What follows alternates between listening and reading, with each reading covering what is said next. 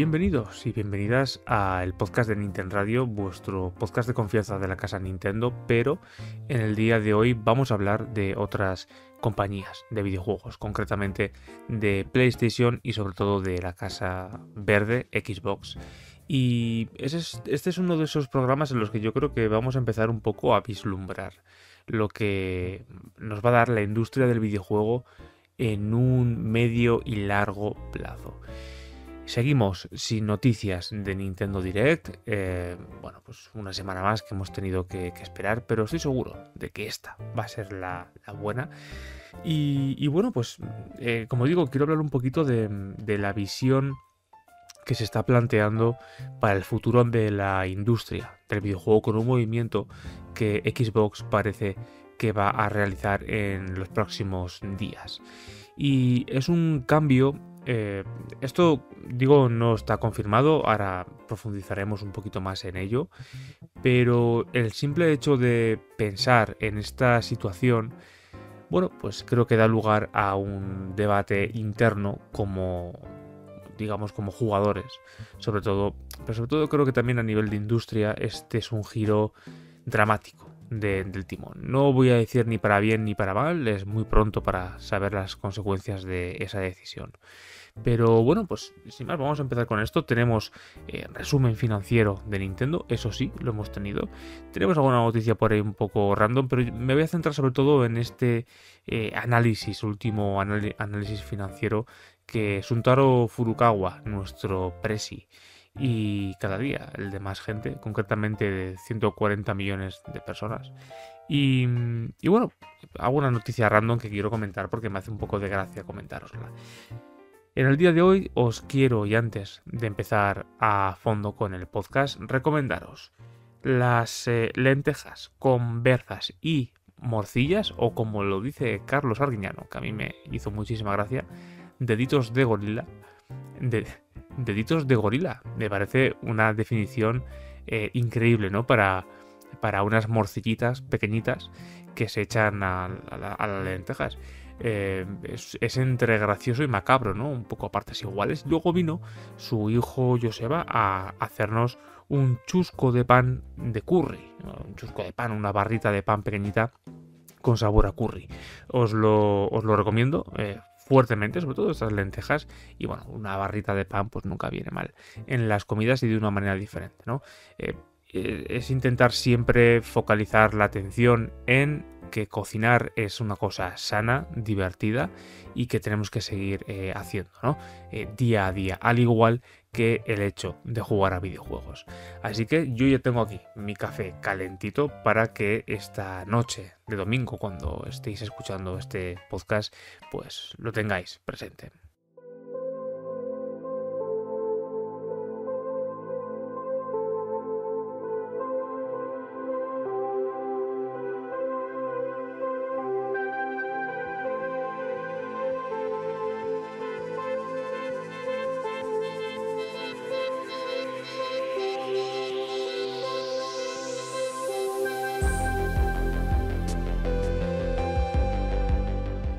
Noticia que para mí, en lo personal, creo que es algo súper importante. Em, la, he cogido con bastantes ganas y me ha gustado mucho. Y es eh, que viene de, la casa Konami. Y es que parece que van a sacar un recopilatorio de juegos de Yu-Gi-Oh! Y diréis, ¿y a, qué, a mí qué me importa Yu-Gi-Oh! en 2024, verdad? Eh, a muchísima gente soy consciente de que no le interesa en absoluto esta franquicia y creo que tenemos un, recuerdo ¿no? de lo que fue Yu-Gi-Oh! a lo mejor por mediados, principios de los 2000 seguramente con, el anime pegando fuerte y los patios de los recreos pues hasta arriba ¿no? de jugadores de, Yu-Gi-Oh! Eh, supongo que yo tengo una visión un poquito edulcorada de lo que es esta franquicia. Yo soy un apasionado, lo era por lo menos, de, esta franquicia de, Yu-Gi-Oh! Eh, un nivel obsesivo a tal punto de llegarnos a obsesionar tanto por Yu-Gi-Oh! como creo que de Pokémon incluso. Una de mis franquicias favoritas, pero es verdad que el paso del tiempo ha hecho que, bueno, al ser una franquicia que ha ido muy ligada al, al competitivo, entre comillas, ¿no? Porque son juegos también para una sola persona, pero los duelos son para dos personas, ¿no? Por lo menos, porque luego ya sabemos que había duelos pues, de tres incluso y de muchas eh, variantes, ¿no? Y bueno, pues sin más, es un. Sin más, si tenéis en mente algún juego de Yu-Gi-Oh! En, vuestra, en vuestra cabeza, pues que sepáis que Konami va a lanzar, que no sé si este año supongo, a lo largo del año, un recopilatorio que ya han confirmado de que se, no será únicamente y exclusivo de Japón, sino que se expandirá a, otros países. Espero que traducidos, porque los dos únicos juegos que han salido en portada ha sido un juego de Game Boy y otro creo que de Game Boy Advance. Y tienen confirmados varios juegos de ellos. evidentemente, aquí en España lo que más se pide es Yu-Gi-Oh! Forbidden Memories de PlayStation 1. Eh, entiendo el no, voy a decir el fanatismo, pero entiendo un poco el conocimiento que tiene la gente sobre este videojuego, porque es el videojuego que salió para PlayStation 1, como digo, en la época de mayor esplendor, supongo, de la franquicia. Creo que es el juego que todo el mundo, eh, digamos que jugó, ¿no? O por lo menos tiene en mente, ¿no? Como juego de, Yu-Gi-Oh! Yo que soy un friki, y lo era en mis tiempos que esta franquicia ha seguido jugando a juegos de, Yu-Gi-Oh! sobre todo en Game Boy Advance, Nintendo DS y Wii. Y, la verdad que bastante bien, yo me los he pasado bastante bien, siempre he jugado solo y esta noticia la verdad que eh, no me la esperaba, creo que Yu-Gi-Oh! es una franquicia que está lejos de estar muerta, pero creo que en Occidente es algo que eh, difícilmente va a retomar en, algún, en algún momento. Y sin más, eso es un poco lo que quería, lo que quería comentar. Que hay un recopilatorio en marcha de juegos de, de Yu-Gi-Oh! que me parece una cosa súper curiosa. Eh, es una noticia un poco random y, y fijaos, lo, voy a enlazar con otra cosa también que, quiero comentaros antes de, empezar con las noticias importantes de esta semana. Que esta noticia creo que es súper importante también y es la inclusión que va a hacer Disney en Fortnite. Va a hacer una especie de bueno, la verdad que no está muy claro lo que, lo quieren hacer. Parece como que es un, una amalgama de cosas que ya están en Fortnite, pero que ahora Disney ya ha metido dinero para hacer juegos nuevos, etc. La asociación viene un poco dada de Disney con Epic, con la Epic Store. Y entiendo que con su eh, motor eh, gráfico. Ya tenemos cosas de Disney, de Star Wars, de Pixar, eh, etcétera, en, el universo o en el multiverso, mejor dicho, de, Fortnite, ¿no? Y hay personajes de Star Wars, etcétera. Pero eh, yo soy un clásico y me gusta pensar en otro tipo de cosas. Eh, ya os lo he comentado en alguna ocasión. llevamos una enganchada bastante fuerte, pero que nos gustaría que fuese un poquito más extendida en el tiempo. Eh, con mi amigo Chapi de Cenicia Kids jugar a Lego Fortnite. Simplemente, bueno, unas partidas muy de vez en cuando. Y es un juego de gestión muy mal gestionado, por así decirlo, tiene bastantes carencias. Y los dos somos muy fanáticos de la marca Disney. Y estaremos bastante atentos a lo que Disney quiera proporcionarnos en los universos. Han enseñado unos bocetos o una especie como de universo. Es que realmente no sabemos lo que, lo que si serán mapas para Fortnite de Pesadilla antes de Navidad o de Frozen. No sabemos si va a ser juegos nuevos. Y, esto es un poco lo que, lo que la, parte clásica, ¿no? Que quiero, que quiero comentar, eh, comentar, sí, eh, comentar Em, Bob Iger, creo que es Bob Iger, no sé cómo se llama, creo que es Bob Iger, es el CEO de Disney. Y ha dicho algo así que a mí me ha parecido bastante curioso, que la verdad que es un, es un tío de setenta y tantos años que, sinceramente, creo que para ser un CEO de una gran compañía del entretenimiento, creo que está un poco chapado a la antigua porque parece que ahora, en 2024, se ha dado cuenta de que los jóvenes, o bueno, realmente todo el mundo a día de hoy afortunadamente, consumimos muchas horas a lo largo del día en videojuegos. Ya sea, eh, bueno, en videojuegos, jugando a ellos, en merchandising, en todo lo que eh, aglutina todo esto, ¿no? Y ha dicho que, bueno, hay que estar ahí, en, esas millonadas que se mueven en el videojuego, pues oye, nosotros Disney, ¿por qué? ¿Dónde está nuestro juego de Mickey? ¿no? Supongo que se habrán preguntado.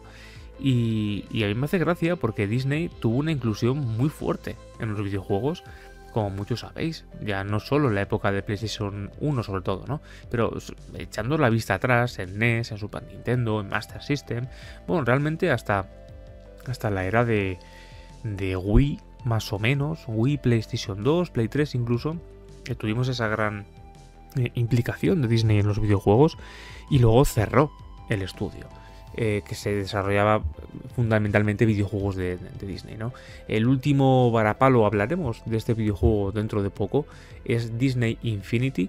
Y, bueno, pues decidió Disney salirse de, ese mundillo y hace unos pocos años, creo que por alrededor de la pandemia, escuché a un directivo de Disney diciendo que querían volver un poco a, abrir eh, nuevas oportunidades al mundo del videojuego en la franquicia, con la franquicia Disney, no, no franquicia por así decirlo, ¿no? Eh, con el nombre eh, Disney. Y, realmente está muy bien, supongo, Star Wars, está muy bien todo lo, relacionado con Marvel, pero creo que aquí todos somos un poquito carcamales, si me permitís la palabra yo quiero un nuevo juego de plataformas en tres dimensiones de Toy Story.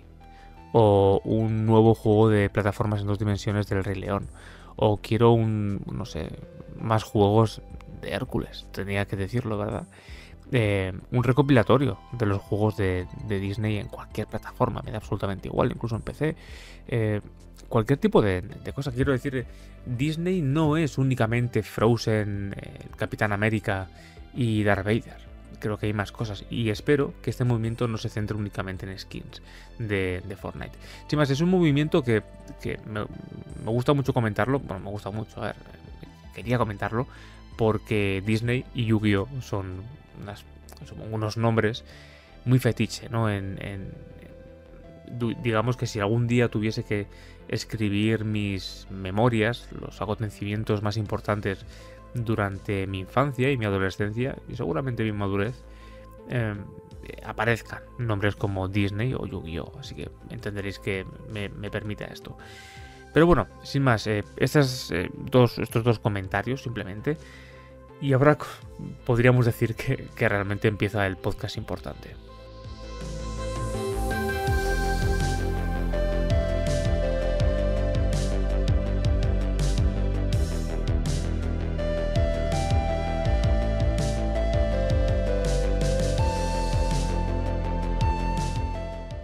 Resumen financiero de Nintendo, de octubre a diciembre de 2023.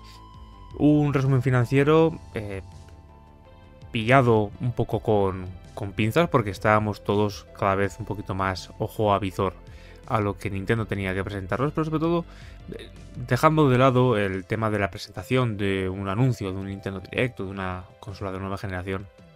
El, el dato que estaba fijo por ver en este resumen financiero eran las ventas eh, actualizadas de Zelda Tears of the Kingdom, se habían mejorado respecto a su trimestre eh, anterior y esas ventas de Super Mario Wonder y sobre todo los que, lo que más me, me interesaba era si Super Mario RPG había vendido bien. Y bueno, todas estas eh, dudas se han, se han comprobado ¿no? y se han hecho oficiales. Vamos a ir un poco en orden yo no, hago un análisis eh, como podréis encontrar en otros lugares. ¿eh? Es un análisis un poquito lo que he cogido, un poco lo que más me interesa, lo que más puede ser de, del interés eh, general y comentarlo un poco con, con, vosotros. Por ejemplo, hay un dato que me gusta mucho decir de que a día de hoy Nintendo Switch con 33.340.000 unidades de consolas vendidas es a día de hoy la consola más vendida en Japón de la historia. Es una consola que ha ido marcando récords de cifras desde el primer día que salió. Y se va notando, está muy cerca de... Bueno, no, miento, ha superado ya las eh, casi 33 millones de consolas vendidas que logró colocar Nintendo en Japón de Nintendo DS. Y bueno, pues es un récord más. Y creo que eh, a día de hoy, eh, según esta cifra, Nintendo ha colocado en el mercado mundial cerca de los 140 millones de consolas. es un dato interesante este. De hecho, me lo voy a marcar porque lo vamos a comentar eh, con especial interés con el siguiente tema. Voy a seguir diciendo datos. El juego más vendido de Nintendo Switch en este momento sigue siendo Mario Kart 8 Deluxe con 60 millones eh, y medio de consolas. Es una cifra irrisoria. Animal Crossing en segundo lugar con 45, casi 44,79 millones de videojuegos colocados también y Super Smash Bros. en tercer lugar con 33,67 millones. Seguido, por supuesto, en un cuarto y un quinto lugar con Breath of the Wild con 31,61 y en quinto puesto pues tenemos Super Mario Odyssey. Unas cifras eh, escandalosas. Está claro de que Nintendo ha pasado de ser eh, una consola con, Wii U y Nintendo 3DS, una, una, compañía que jugaba en otra liga respecto a PlayStation 4 o Xbox eh, One porque no vendía. Y era una, bueno, pues Nintendo ahí con sus exclusivos y, alguna third party, muy poca, que, aparece en Wii U. Eh, pero las consolas, hoy en día el videojuego está centrado en PlayStation 4, ¿no? Y en el PC, Xbox One, etcétera. Y siete años después de estos comentarios, realmente no es hace tanto, eh, se ha dado la vuelta a la tortilla de una manera increíble. Porque ya cambiamos un poco el tono cuando hablamos de que Nintendo juega en otra liga con sus exclusivos y que de vez en cuando van apareciendo alguna third party. No tiene nada que ver un contexto con el otro. Eh, Nintendo ha tocado el cielo con Nintendo Switch. Y fijaos, yo con esto hago una pequeñísima reflexión una vez más, y es que se habla mucho de Nintendo como eh, revolución, ¿no? Todo lo que hace es una revolución. Yo creo que hay dos revoluciones a lo largo de la historia del videojuego, ya cuando Nintendo está dentro del videojuego, ¿no? del mercado del videojuego, hay dos momentos fundamentales en, la historia, ¿no? dentro de esta industria. Uno es la creación de la Game Boy, el momento en el que Nintendo eh, ya ha establecido las consolas domésticas, las ha metido ya en casas de, todo el mundo y ahora tocaba pues bueno, crear esa especie de consola de bolsillo en la que poder pues tener videojuegos de Nintendo y de otras compañías, por supuesto, pero con esa magia de Nintendo en el bolsillo de cada niño, ¿no? Y eso fue una revolución, fue transformar el mercado del, videojuego y expandirse todavía muchísimo más, ¿no? Si, si, cabía. Y evidentemente, con el paso del tiempo, con consolas más potentes, como una GameCube frente a una Nintendo 64, con el control por movimiento de Wii, con el 3D sin gafas Nintendo 3DS, todo eso son minucias frente al segundo gran logro que ha conseguido Nintendo durante todos estos años. Y este logro ha sido Nintendo Switch. El, el poder hacer que funcione una fusión entre el formato físico, el, perdón, el formato portátil, el formato de sobremesa y unificarlo eh, fue un gran golpe encima de la mesa. Fue prácticamente un reboot de lo que es eh, Nintendo. ¿no? Seguimos conservando esos grandes videojuegos y, ahora te los puedes llevar a donde quieras y no son versiones eh, diferentes de las que podíamos ver en las televisiones de, nuestras casas. No son eh, secuelas, no son juegos spin-off, pero es la única manera de poder tener un Banjo Kazooie de portátil. ¿no? Me estoy acordando ahora de, esa, de ese juego de Banjo Kazooie que salió en, Game Boy Advance. Y, bueno, pues lo ha conseguido. Ha sido la, gran revolución de, Nintendo esta, pues esta última década. Realmente creo que eh, hasta que no veamos pasar los años y hablemos de Nintendo Switch eh, en pasado con una vista puesta en otra cosa y cuando hablemos de, Nintendo Switch de la misma manera en la que podemos hablar a día de hoy de una Wii por ejemplo eh, y, bueno pues no me quiero meter ahora con, el tema de la importancia de una consola porque para Nintendo creo que es evidente que a día de hoy es una cosa súper digamos, casi vital para, ellos. Em, y luego las ventas de, las consolas. Creo que estaba la cifra por ahí, no, no la he rescatado. Sin más, por comentarla, en la millonada de juegos que se han vendido en, Nintendo Switch, ¿no? Para jugar en, Nintendo Switch. Em, y aquí vienen las dos, las dos principales dudas que yo tenía con, con este último resumen financiero, que son las ventas de Super Mario Wonder y de Mario RPG. Super Mario Wonder ha vendido 12 millones de, juegos, creo que era un éxito aclamado y, evidente.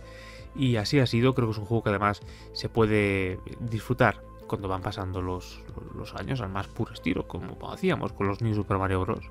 Y este videojuego pues es, eh, es otro de ellos, ¿no? La capacidad de sorpresa. Creo que yo como jugador, yo eh, creo, creo que la primera vez que juegas a Super Mario Bros. Eh, Wonder, claro, el juego juega un poco contigo con el tema de la sorpresa. Si tú ya sabes lo que va a pasar, ese factor desaparece. Sigue siendo divertido, muchísimo, pero ese factor ya termina desapareciendo, ¿no? Y, la verdad que es, es un poco una pena. Es como eh, apostar todo a una única baza y luego repetirla, pues no es lo mismo, ¿no? No es.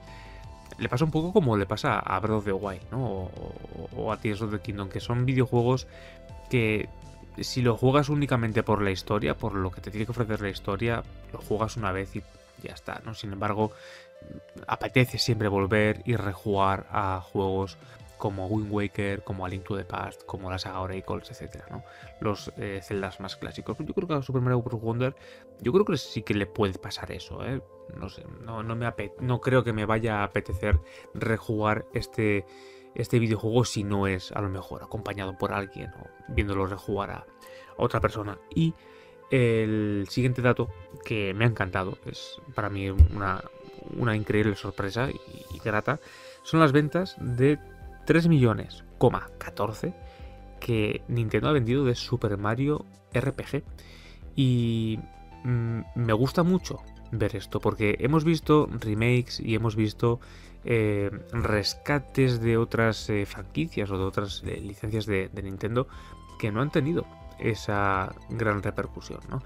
Y a ver si es Super Mario, por lo tanto está también el boom de la película, lo podemos coger todo, ¿no? Pero es un Super Mario muy diferente.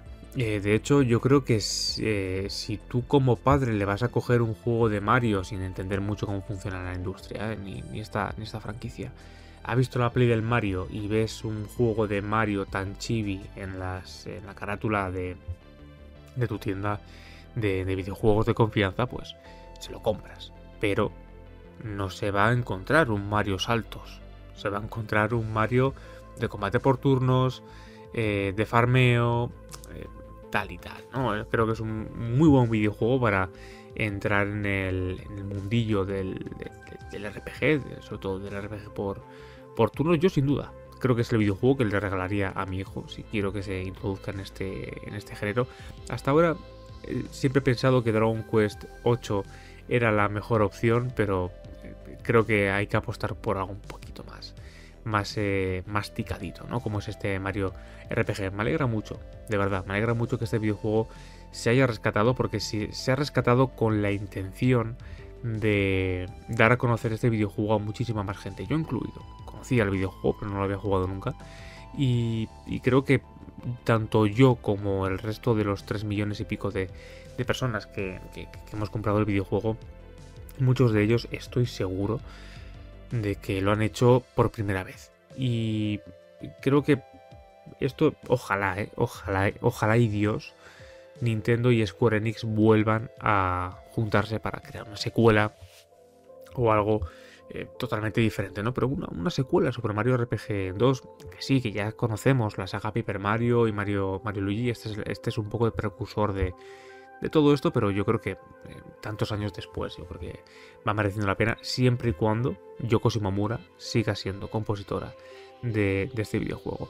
Dar un poquito, volver a rescatar a, esos personajes, ¿no? Como Malon, como, como Geno, como, como otros tantos, ¿no? Y creo que es un, videojuego que tiene una atmósfera bastante única, bastante única. Me recuerda un poco a la atmósfera que se respiraba también con, con Kingdom Hearts, muy salvando las distancias, ¿no? Evidentemente, pero son, parecen mundos de mentes pensantes tan, tan, tan diferentes, creativas ambas, pero tan diferentes y una fusión increíble. A mí la verdad que es un videojuego que me ha encantado muchísimo y, bueno, pues me alegra mucho verlo en este, en este podio. Así que Eh, en otro orden de cosas, estos son números y son cifras, pero creo que muchos veníamos también un poco con la expectación de las preguntas que los accionistas le hacen a Nintendo, ¿no? Y evidentemente la pregunta, como era de esperar, ha surgido. Eh, y todo lo relacionado con la sucesora de Nintendo Switch.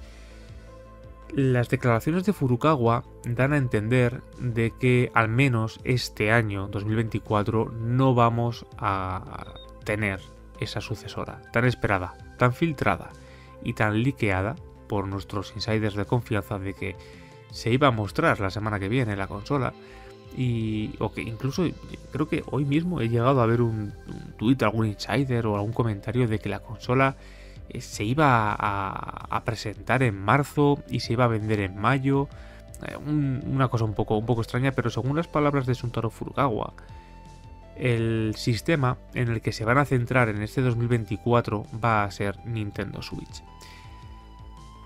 Conocemos a Nintendo, creo que vamos conociendo un poquito más a Furukawa y veremos porque el hecho de que digan que no va a haber una revisión, no va a haber una sucesora, no va a haber nada de esto eh, durante este año puede ser mentira muy fácilmente. No, más que nada porque lo hemos visto en otras ocasiones. Cuando se le pregunta a Nintendo sobre el futuro eh, de algo diferente a lo que ya está establecido, Nintendo siempre hace un poco oídos sordos, evidentemente. También entendemos de que no te van a decir, sí, sí, la verdad que en noviembre vamos a sacar una consola nueva y ya la mostraremos en verano o así, eh, porque automáticamente lo que haces es un frenazo de las ventas de la consola. Muy importante. Y creo que además Nintendo tiene un poco la, mentalidad, supongo, de, de tenemos que llegar hasta el final de todo. Y el final de todo, para esta Nintendo Switch o lo que quieran conseguir con Nintendo Switch, lo último que queda para conseguir el último récord de, de esta consola es llegar a ser la consola más vendida de la historia. No está lejos. De PlayStation 2, que es la actual consola más vendida, creo que está alrededor de los 150 millones. Y Nintendo se ha, propuesto para este año, este año, este ejercicio fiscal, o no sé cómo, funciona un poco esto, subir las previsiones de ventas de la consola a 15 millones y media. está complicado, pero yo creo que podemos llegar a, conocer Nintendo Switch como la consola más vendida de la historia y luego, pues bueno, pues veremos si saca a, la sucesora, ¿no? No sé, es, una... no sé si, es la mentalidad de la actual Nintendo, si ese es su, plan, pero no sería descabellado porque están muy cerca de conseguirlo y creo que a nivel de, de catálogo, Nintendo Switch todavía puede ofrecer mucho. Eh, evidentemente todos esperamos una sucesora de, Nintendo que esté un poco más acorde a las, eh, digamos, a, las exigencias de los desarrollos actuales. pero eh, eso sería lógico, de hecho al 100%, si Nintendo tuviese focalizado sus esfuerzos también en las third parties. Y no es así. Nintendo focaliza sus esfuerzos en sus estudios internos. Y estudios internos de Nintendo son los que mejor conocen la consola. Eh, acaba de salir Zelda Tears of the Kingdom, como digo, Mario Wonder, el remake de eh, Mario RPG, Pikmin 4. Han salido muchísimos em, videojuegos en esta última fase de, la consola, en este último año, como digo, eh, que gráficamente sí, claro, evidentemente se van notando los, los resquicios, no funcionan a 1080, 60 todos los videojuegos. pero creo que es una consola que todavía puede aportar mucho. Em, y, de todas formas, creo que este año, y supongo que hasta que salga la, gran consola en la que veamos, como digo, pues ese nuevo juego de Super Mario y las nuevas, los nuevos planes que tenga Monolith, etcétera creo que va a ser una consola que nos vamos a tener que comer muchos remakes, muchos ports, muchos remasters. Eh, incluso títulos menores, como puede ser el de eh, Super Princess Peach, que bueno, eh, todavía no lo hemos jugado, a lo mejor es un juego triple A de la leche. No tiene pinta. La verdad que lo, que hemos visto hasta ahora pues no tiene pinta.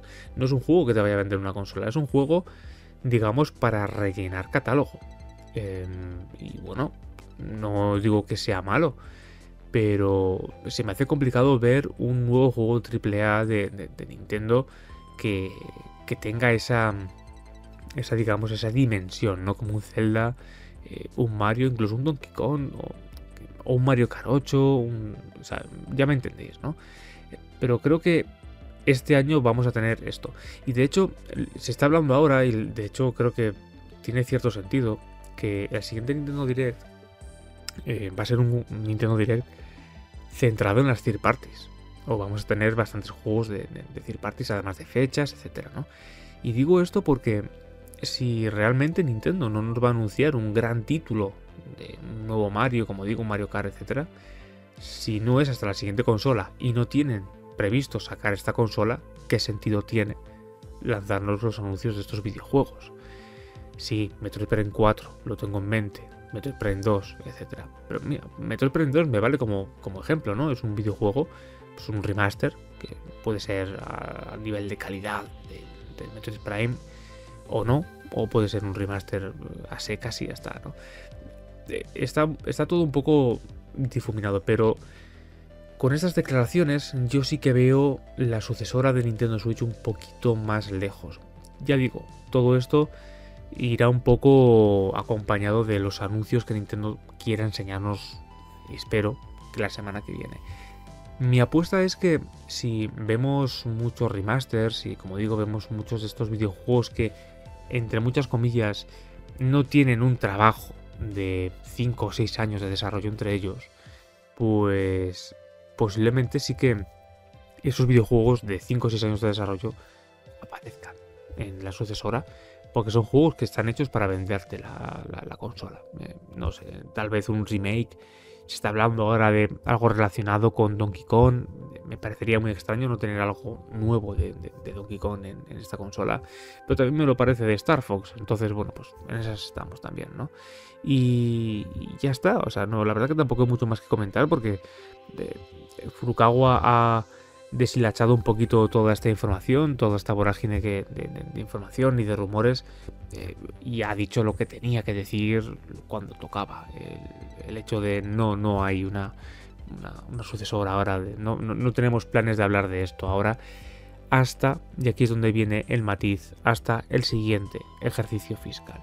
el siguiente ejercicio fiscal de, de Nintendo creo que es a principios de mayo de este año. Entonces tendría sentido un Nintendo Direct centrado en las third parties y un par de fechas de aquí a, verano en ese hipotético Nintendo Direct de la semana que viene. Y tal vez en mayo tengamos ese evento, ese anuncio de la consola, en mayo o cuando sea, ¿no? y, bueno, creo que todavía no es tarde para poder decir de que tendremos sucesora de Nintendo Switch antes de finalizar el año creo que puede ser una consola, claramente, para vender en Navidades. En marzo de 2017 tenía sentido lanzar una, consola en, esas eh, condiciones y en esas fechas porque Wii U era Wii U y había prisa por quitarse Wii U de encima para poner algo diferente ¿no? en, el, en el mercado. Y Star Fox Zero acababa de salir meses antes de salir Nintendo Switch al mercado. Así que bueno, es un poco lo que, lo que venía a darnos Furukawa de, información. Y esto es un poco lo que Nintendo ha querido decirnos, pero ahora vamos a hablar de qué futuro le espera a la industria con ese hipotético anuncio que Xbox y Phil Spencer nos va a hacer. Y de qué manera yo creo que nos va a afectar a nosotros los Nintenderos.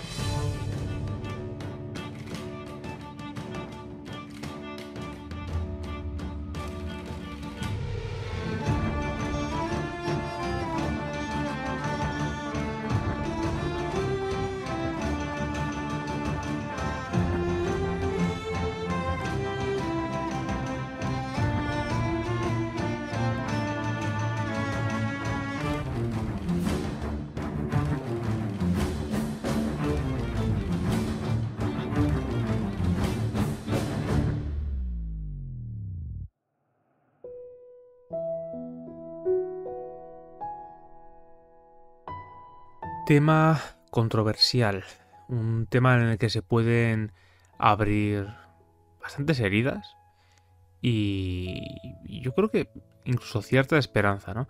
Hace poco también comentamos un poco esto y, mi visión acerca de, cómo vería el fin de los exclusivos de Jefe Rush y creo que de Sea of Thieves ya hablábamos en aquel momento, ¿no? Em, claro, yo como con la visión nintendera que yo tengo, evidentemente yo le doy muchísima importancia en un 90% a lo mejor a los exclusivos de una marca. Pero lo, lo, hago por un simple hecho de que mm, la compañía de la que yo estoy hablando, que es Nintendo, ella misma le da esa importancia. Entonces yo voy un poco en consonancia de, eso, ¿no? Eh, defender los exclusivos de Nintendo a capa y espada. Em, pero entiendo también la manera de funcionar que tiene Sony PlayStation y sobre todo entiendo la de Xbox. Pese a, y esto que sirva de contexto a yo no tener Xbox, ¿no? Y, pero me gusta mucho el, bueno, la atmósfera que se respira en cierta parte, esto es como todo, ¿no? En cierta parte de, la, de, la, comunidad Xbox, ¿no? Y aprovecho también para mandar un saludo al podcast compañero Conexión Xbox. Eh, con este mismo nombre y, lo comenté en algún momento también a, ellos que yo escucho ese podcast no, no porque yo tengo una Xbox ni me interesen los exclusivos de, de, Xbox sino por esa, esa como digo esa atmósfera de comunión que existe entre mezclar los exclusivos de, una marca, eh, eh, la potencialidad que pueda ofrecer eh, la, Xbox Series X o Series S y, el Game Pass sobre todo, en este caso, con el, hecho de poder jugar a todos los third parties en esta consola. Y digamos que es un poco, ha sido siempre un poco la, la, consola un poco híbrida en todo esto, ¿no? En el tema de las third parties, las exclusividades, etc. Y con la adquisición de Activision Blizzard se hablaba incluso de monopolio, de hombre, que se van a quedar en exclusividad con todos los, los títulos. Y ahora la noticia es que parece ser que hay un, giro dramático de los acontecimientos y parece ser que Xbox va a liberar todas, o a priori, ¿no? Eh, la mayoría, o supongo que todas, ¿no? Eh, las exclusividades que tiene. Esto eh, cuenta con que Halo, Gears of War, Sea of Thieves, Hi-Fi Rush, Hellblade 2, sean videojuegos que se puedan jugar en Nintendo Switch y en PlayStation. Em, ¿Cómo afrontar esto? Claro, desde mi punto de vista, evidentemente, es una buena noticia. Claro está. Eh, mi, mayor miedo, y hablando claro, el mayor miedo que teníamos, sobre todo creo que los Nintenderos y los Sonyers de, de capa, era que no podíamos volver a jugar si no te comprabas una Xbox, por supuesto, a Crash Bandicoot o Spiro. El resto de videojuegos, está feo decirlo, pero nos daban un poco igual. ¿Qué pasa con eh, la franquicia Crash y Spiro, ¿no? que son un poco nuestras eh, franquicias de la infancia, ¿no? y están en una consola que mucha gente no tiene. Y, bueno, pues eh, a, ver, cómo, cómo explico esto porque es, complicado. Yo entiendo, como digo, el modelo de negocio de, PlayStation y sobre todo entiendo el de Nintendo. Y como digo también entiendo el punto de vista de Xbox en este punto que es darle una importancia mayoritaria al Game Pass. creo que comprar exclusividades para meterla en un servicio de suscripción que es exclusivo de consolas Xbox no te va a dar el margen de beneficio que te podría dar si sueltas esas IPs. Es decir, en todas las cabezas entra de que si Sea of Thieves vende muchísimo ¿no? en, Xbox, creo que sigue siendo uno de los juegos más que está, sigue siendo en los tops más jugados recurrentemente en Steam. Por tanto, ya es un videojuego que no es exclusivo de Xbox. Pero, ¿y si además ese videojuego puntero, como es Sea of Thieves, lo lanzas en PlayStation y en Nintendo Switch. Son videojuegos que tienen, eh, de hecho, bueno, los, de, los de Nintendo Switch y los de PlayStation nos tendríamos que comprar el videojuego.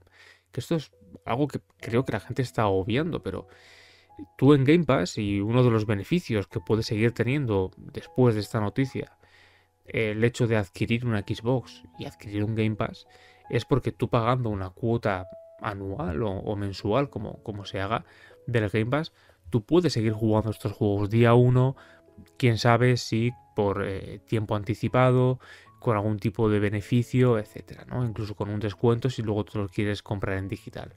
Eh, eh, creo, que así funciona hasta ahora el Game Pass también. Te hacen incluso un descuento si, lo has jugado en Game Pass, simplemente por eso. Y, el resto de jugadores, pues nosotros lo compraríamos. Y ya está. Hi-Fi Rush es un videojuego que habrá vendido muy bien dentro de, Xbox. Creo que es en exclusivo. Si está también en, Steam, creo que no.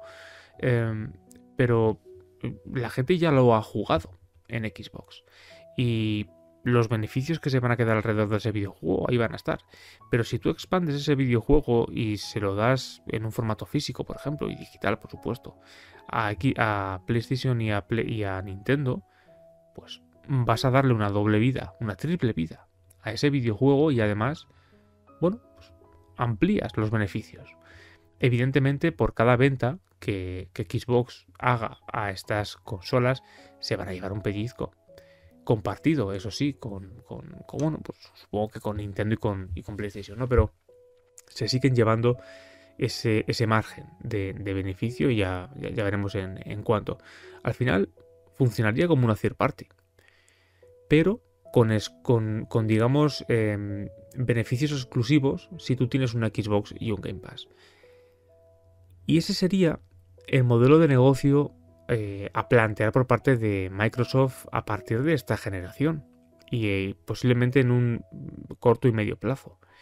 La semana que viene, como digo, Phil Spencer, después de todos estos rumores y estos eh, anuncios que se hicieron en revistas especializadas y prensa especializada, mejor dicho, del videojuego, pues Phil Spencer salió, bueno, ni a desmentir ni a afirmar esto, sino a anunciar de que nos estaban escuchando y de que la semana que viene van a hacer un evento relacionado con el, eh, como, lo decía, el futuro, de, futuro de Xbox, ¿no? El, modelo de negocio futuro de Xbox. Y todo apunta a esto. Claro, somos una industria joven pero que a la vez estamos ya un poco pasados de rosca. Y hay mucha gente que cree en las exclusividades, porque hemos crecido con esto. Em, yo no veo que Nintendo vaya a soltar jamás las exclusividades de Super Mario o, de Zelda. y, no puede estar en el mismo saco que lo que pasa en Xbox. Porque Nintendo hace mucho dinero con las consolas. No con los videojuegos, que también, y muchísimo, pero sobre todo con las consolas. Creo que son los que más beneficios llegan a tener con consolas. Son, lo acabamos de comentar, 140 millones de consolas vendidas. Es una importancia mayúscula. Eh, no sé en qué podcast he escuchado hoy, que no sé si era el de comunidad de Xbox o el de Level Up, alguno que he escuchado hoy y, decían, lo, lo corroboro lo confirmo, y lo hacemos todos. Nintendo sacaría mucho más dinero. Si, eh, si nos enfrascamos en el tema del dinero, mucho más dinero. En sacar Nintendo Switch especiales, de colores, por ejemplo, que una nueva revisión de la consola. Porque esta consola eh, vende como churros. Si tú la sacas de colores, por ejemplo, morado transparente, ¿no? Se me ocurre como la Game Boy Advance. O, negra como la, como la, la GameCube. O, ¿Sabéis? Con este tipo de, de guiños incluso a consolas antiguas de, Nintendo, una Nintendo Switch tribal, ¿no? como la SP aquella, em, sacaría mucho más beneficio. Mm, Nintendo no va a sacar las exclusividades de su consola porque hace mucho dinero con sus consolas, cosa que Xbox no hace con Xbox Series X y Series S.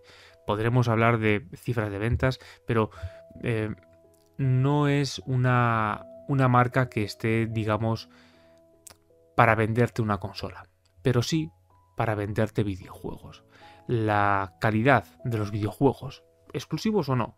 Eh, sí, ¿por qué no? Sí, sobre todo de los exclusivos de Xbox, de un Hellblade, de un Sea of Thieves, de un futuro Fable, de un futuro Indiana Jones, de un Starfield, de un Hi-Fi Rush.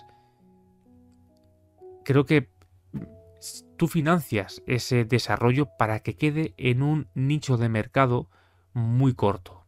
Y si Microsoft o Xbox quiere darle más importancia al videojuego que a la consola, este eh, es el único medio, supongo que a mí se me ocurre, para poder, eh, para poder expandir esto, ¿no? Creo que va a focalizar sus esfuerzos en el Game Pass. Y creo que es una buena idea, si me preguntáis a mí. Em, como digo, la pregunta aquí es qué sentido tiene, qué hago yo ahora con una Xbox que me acabo de comprar, si no tengo exclusivos. Eh, entiendo y pero no, comparto del todo ¿no? ese, ese posible enfado que pueda, que pueda haber, pero sí, sí, que lo puedo entender, porque esa vena eh, videojueguil tradicional existe como nunca en Nintendo ahora mismo, y yo como Nintendero me veo reflejado ahí. Eh, no digo que sea la, la opción correcta ni, ni, nada el hecho de eh, sacar una foto, evidentemente, ¿no? De una Xbox quemándola, o tirándola a la basura, o vendiéndola, etcétera, ¿no? Total, si no voy a tener exclusivos, si puedo jugarlos en una Play 5, en una Switch, ¿para qué quiero una Xbox, no? Bueno, em, aquí sacamos otra variante, ¿no? Que a nivel de potencia de consola, ¿qué va a ser? Eh, es más cómodo, es más sencillo jugar a, en Xbox que jugar en un PC y más barato, seguramente. Seguramente no, fijo. Y, yo creo que sigue mereciendo la pena, incluso eh, si, Starfield yo lo pudiera jugar en, Play 5, bueno, digamos que a lo mejor no va a hacer que yo me compre una Xbox Series X por ese motivo, pero estoy seguro de que hay otros. Y entre ellos está ese Game Pass. Tener esa biblioteca inmensa de videojuegos, esa retrocompatibilidad también con juegos de, otras, eh, de, otras, épocas, ¿no? de, Xbox, em, tener esos descuentos para esos videojuegos que yo quiera adquirir en el formato digital, el poder jugarlos de manera anticipada, etcétera, sigue siendo una, una virtud que Xbox tiene, ¿no? Em, pero es un cambio eh, muy significativo. Y mucha gente lo está asemejando a lo que hizo Sega. Y Sega, a día de hoy, es una empresa que le va francamente bien. Entonces, si Microsoft haga lo que haga, si esto le, sirve a Microsoft para tener cierto beneficio, pues adelante. Si es la opción correcta para que esta empresa siga generando estos videojuegos, porque aquí hablamos de videojuegos, no de consolas, que así sea evidentemente. Y creo que aquí parte del enfado evidentemente va dirigido al público de Xbox porque tanto PlayStation como los de Nintendo somos los que más beneficiados vamos a salir. Sobre todo si no teníamos una Xbox. Vamos a poder jugar Hi-Fi Rush en formato físico en nuestra consola. Y, de alguna manera apoyar a ese desarrollo ¿no? y a ese desarrollador. Habrá que ver, pero es una idea. Y aquí el único. El único. Ya para finalizar, ¿eh? que está quedando un poco largo esto. aquí el único peligro es PlayStation. Porque se va a quedar, digamos, con cierto monopolio de, todos estos, juegos de party, salvo, evidentemente, de los juegos de Nintendo, porque Nintendo tiene su propio monopolio. Y Nintendo, ahora, volvemos a decir, ¿no? Juega en su propia liga, no, no tiene nada que hacer, ¿no? Em, pero bueno, si va a haber una guerra de consolas, o si hasta ahora ha habido una guerra de consolas, creo que en este momento, si esto se confirma, esa guerra ha terminado. ¿A favor de quién? No lo sabremos todavía. Porque es muy fácil decir que PlayStation va a ser la ganadora, pero ¿y si sale más beneficiada de Xbox? Por eso digo que incluso con el resultado de la guerra de las consolas, para que veáis, eh, el, poco significado que ha tenido siempre esta estúpida guerra, ¿no? De, quién es mejor una, que otra, si en el momento en el que desaparece una no está claro quién ha terminado ganando no, ¿no? Porque una cosa muy ambigua y cada uno pues busca su propio su propio beneficio. Y Phil Spencer, recordaréis aquellos eh, correos que se les filtraron de a ver Nintendo cuando se dará cuenta de que la consola no es lo más importante, ¿no? Eh, estos correos eran de 2019. O sea, eh, la propia Xbox no cree, entre comillas, en el éxito, en generar éxito a través de una videoconsola, sino a través de sus videojuegos. Y si generamos videojuegos que se vendan en cuantos más servicios, mejor, ostras, pues creo que es un modelo de negocio claramente vencedor. Em, vencedor para ellos a nivel empresarial. Y nosotros tenemos que hablar siempre desde el punto de vista del jugador, no ponernos la corbata y hablar en una junta de accionistas. Nosotros somos jugadores y vamos a salir beneficiados, tanto si estábamos en Xbox como si no estábamos en Xbox. Así que esa es un poco la visión de todo esto. Como digo, estos son rumores casi confirmados, lo sabremos la semana que viene y de hecho lo comentaremos en el podcast la, semana que viene. Así que bueno, eh, se viene fuertecito este, este año con muchas eh, con mucha niebla, ¿no? Se ve diciembre de 2024 todavía muy lejos, ¿no? Y con, una neblina muy espesa, pero algo hay, algo hay al fondo de este túnel.